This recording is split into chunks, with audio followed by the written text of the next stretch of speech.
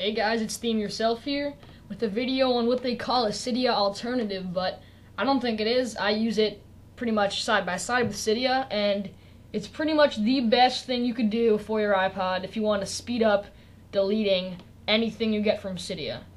Here, you can just watch right here.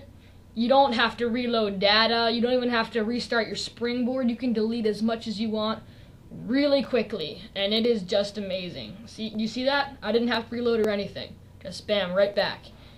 Here, watch it back. This is again, just just some random thing that I'm deleting, super fast. It is amazing, and it just speeds up the whole process. Like if I download something, I don't I don't like it, and I need more space, I just delete it like that. It's really easy. Now, um, to download it is actually a little bit tricky. So you're gonna go into Cydia, and it used to be hosted by RipDev. I don't know if any of you guys know them but the the repo was closed permanently.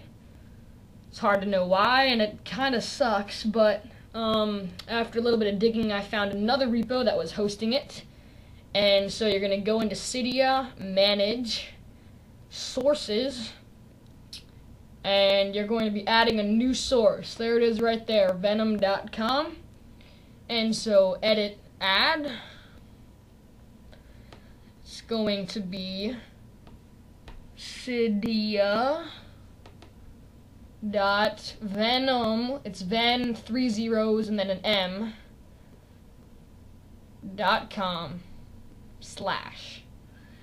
Alright and so once you've added that source it'll install packages and you can just go right in there and scroll down and there's icy. So that's it pretty much. So it's just amazing. You should definitely download it if only to delete things that you download in Cydia.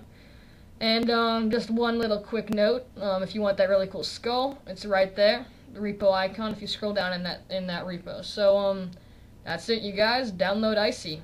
It's amazing.